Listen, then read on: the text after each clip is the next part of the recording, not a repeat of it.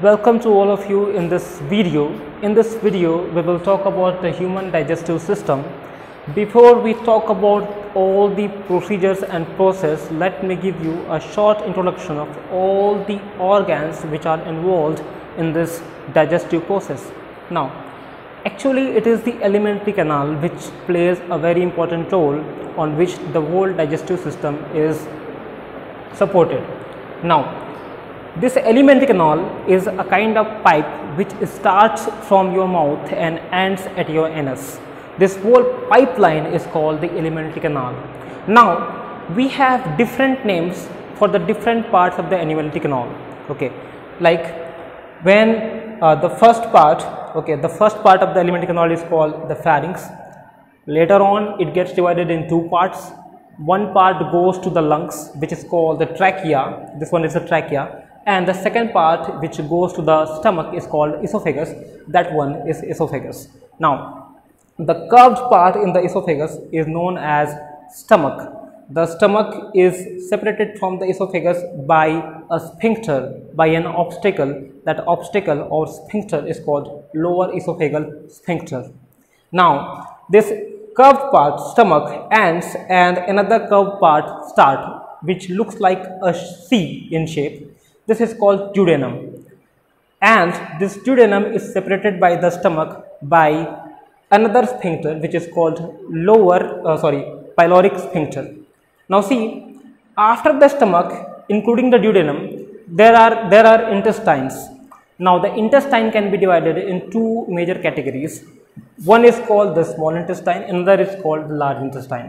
Now when we talk about the small intestine, the small intestine itself can be divided in three parts.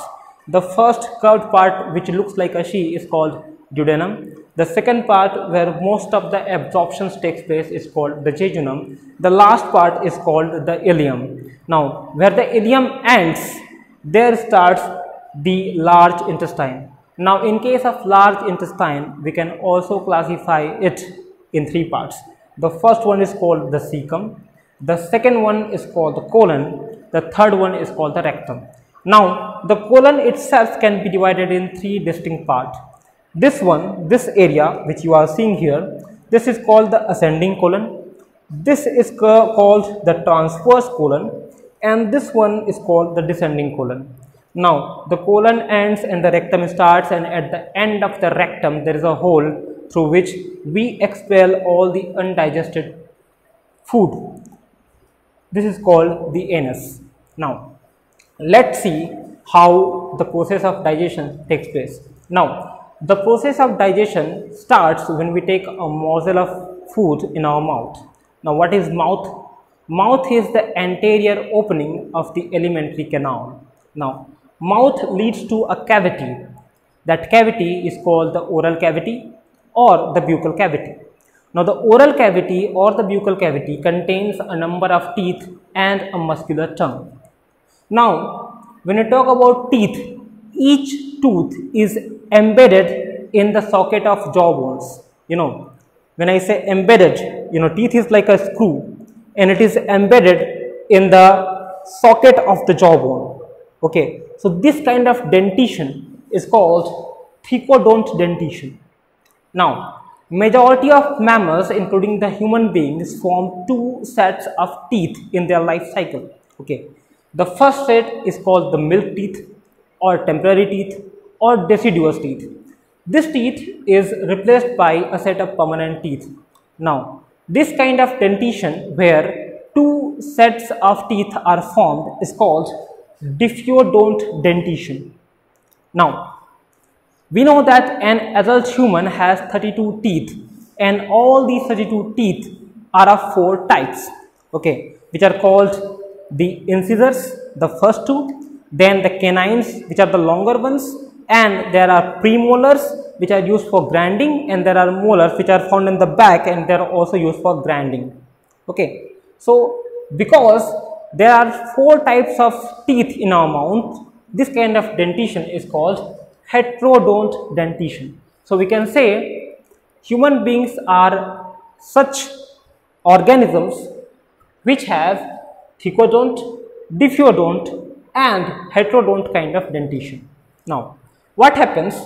Food is broken, chewed and torn by the teeth.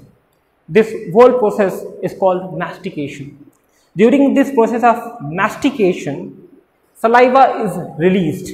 Now, saliva is released from the salivary glands. Generally, there are three prominent salivary glands in our mouth. The first one is called parotid gland. Now, Second one is called the submaxillary gland or submandibular gland. The third one is called sublingual gland. When I talk about that parotid gland, parotid gland are the largest salivary glands in human beings. They are located on the sides of face just below and in front of the ears. Okay, they are also called Stensen duct when you talk about submaxillary or submandibular glands, they are located on the angles of the lower jaw. Just see this is my jaw and this is the angle. So here the submaxillary or submandibular glands are located. So submaxillary or submandibular glands are located on or at the angles of the lower jaw and they are also called Wharton's duct. Now the third one sublingual gland okay as the name suggests sublingual okay it means it is located under the tree under the tongue and these are also called ducts of Rivinus. Now what happens after the process of mastication when saliva is mixed in the uh, what should I say the food okay here it becomes uh, a small ball like structure which is called bolus. Now see one more thing is there when we talk about mastication, when saliva is released, you know, 30% of starch is hydrolyzed here with the help of salivary, salivary amylase, which is present in the saliva. Okay.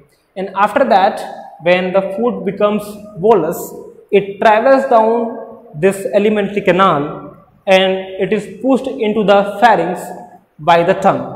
Now here at pharynx, the alimentary canal gets divided in two parts okay? I had also mentioned this earlier the trachea and the esophagus. Here a structure of a structure which is called epiglottis is found. Now i must inform you that epiglottis is a cartilaginous structure. What happens? Whenever we eat something it just covers the trachea and pushes the food into the esophagus now the movement of the food or the bolus into the esophagus occurs due to its wave-like contraction movement.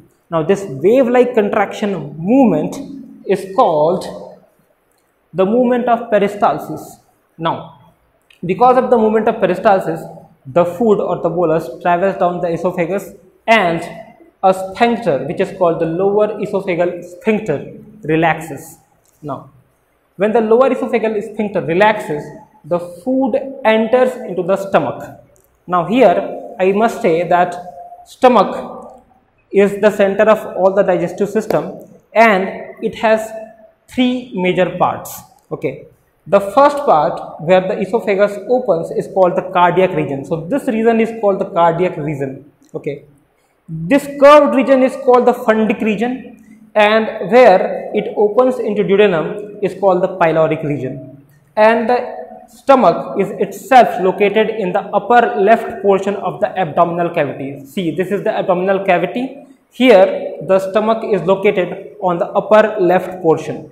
So, here there is the stomach and there are three major parts of the stomach.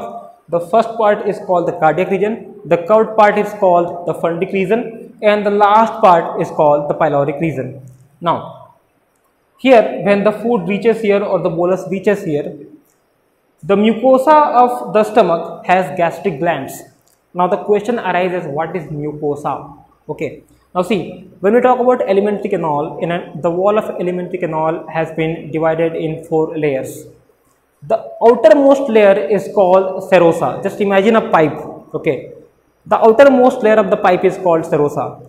The second last layer or the second outer layer is called muscularis and after that the next layer is called submucosa and the innermost layer is called mucosa. Now, the mucosa of the stomach contains the gastric glands and all these gastric glands are made of three types of cells. The first cell is called the mucous neck cell which secrete mucus. The second cell is called chief cell or peptic cell which secrete proenzyme pepsinogen and the third one is called oxyntic or parietal cell which secrete HCl and other intrinsic factors which are essential for the absorption of vitamin B12. Now what happens here? Here the food uh, after after completing all this process you know the food is properly mixed with all the gastric juices because of the churning movement of the stomach. After this what happens here the proenzyme pepsinogen when it is exposed to HCl it gets converted into an active enzyme which is called pepsin. Now what does the pepsin do? The pepsin converts all the protein into proteoses or peptones which we can say are you know lesser complicated types of proteins or lesser complicated structures of protein. So here the proenzyme pepsinogen which is secreted by the peptic or chief cells when it comes in contact with HCl which are secreted by the oxyntic cells you know it gets converted into an active enzyme which is called pepsin and this pepsin converts the protein into proteoses and peptones. Now there are two more things the mucus and carbonates which are present in these uh, gastric juices. Now what does they do? Okay. So the mucus and the carbonates they play an important role in, in lubrication and protection of the mucosal epithelium from excoriation by HCl. After all these process, the food or the bolus which is now called chyme exits the stomach through the pyloric sphincter and enters into a C-shaped part of small intestine which is called the duodenum. Now here the chyme is mixed with the bile juice, the pancreatic juice and now it is called chyle. All these two juices, the bile juice, the pancreatic juice and some secretions from the Brunner's gland, all these are mixed with the food which are which is called chyme and make it chyle. Now what is the difference between chyme and chyle? Chyme was earlier acidic because it was mixed with HCl but the chyle is not uh, acidic it is now alkaline because it has been mixed with the juices which are alkaline in nature. So, Brunner's gland secretion, the bile juice and the pancreatic juice all these are alkaline juices they make the chyme chyle which is alkaline in nature. At the same time when the chyme enters into the duodenum okay it uh, the HCl which is present in the chyme it stimulates the mucous membrane to secrete some enzymes okay. And these are the six enzymes which are secreted by the mucous membrane. The first one is called hepatocrinin the second one is called cholecystokinin and the third one is called secretin. The fourth one is called pancreozymin the fifth one is called enterogastrone and the last one is called enterocrinin now here we will see what are the functions of these enzymes. So let's talk about hepatocrinin first. Okay.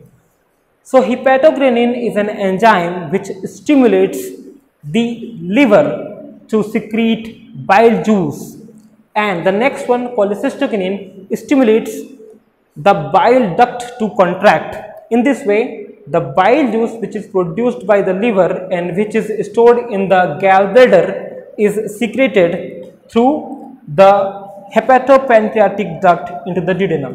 Similarly, the secretin which is the next enzyme what it does? Okay. So secretin stimulates the pancreas to produce pancreatic juice. The pancreozymin stimulates the secretion of pancreatic juice into the duodenum and there is another thing which is called enterogastrone so this enzyme inhibits all kind of gastric secretion in the duodenum. Now this is very very important because if you are eating something and the gastric juices are secreted they are released then it is good but if you are not eating anything it might be harmful for you. So that is why the inhibiting tendency of enterogastrone comes into play and the last one is called enterocrinin. Now enterocrinin is kind of enzyme which stimulates the food into duodenum. So see here the pancreas produces the pancreatic juice which is secreted by the pancreatic duct and here bile juice is produced by liver it is stored into gallbladder and through the bile duct it is also secreted in the duodenum. Now here there is a position where this pancreatic duct and the bile duct join each other. This specific place is called hepatopancreatic duct. Now see in this video this is it more videos will follow. So till then stay home stay safe thank you.